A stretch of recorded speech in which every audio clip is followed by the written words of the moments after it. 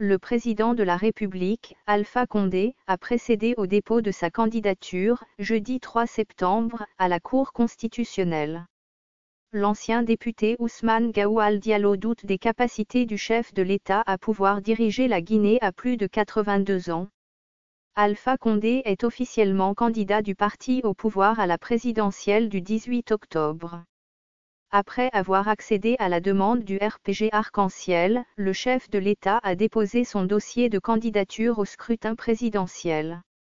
Si le camp présidentiel estime que la nouvelle constitution lui permet de briguer un mandat de plus, le responsable de la cellule de communication l'UFDG doute fort des aptitudes d'Alpha Condé à diriger la Guinée.